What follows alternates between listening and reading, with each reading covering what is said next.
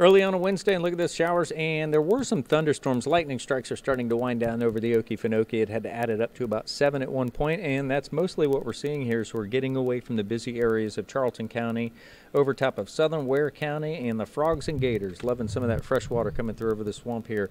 With tropical development quiet in the next five-day window, that's all we have to say about that, and that's good news. As we move ahead into your afternoon, John will be busy once again, starting at four o'clock with the first tracks of what will be some showers and storms 5 o'clock and 6 o'clock. He'll be watching these as they develop to the west of I 95. And our focus here, Clay County and Putnam County, going to be watching closely also for your neighboring counties, Union, Bradford, and Alachua. Yesterday's heavy rainfall, Monday's heavy rainfall, and then more coming through today could lead to more standing water. And we'll try to keep you posted here at News4JAX. You can always stay ahead of those showers and storms with our interactive radar. That's a click away at News4JAX. If your lawns, gardens, your front yard, backyard, even the streets are still looking soggy here, Thursday and Friday will give those a chance to slowly dry out 20 to 30 percent.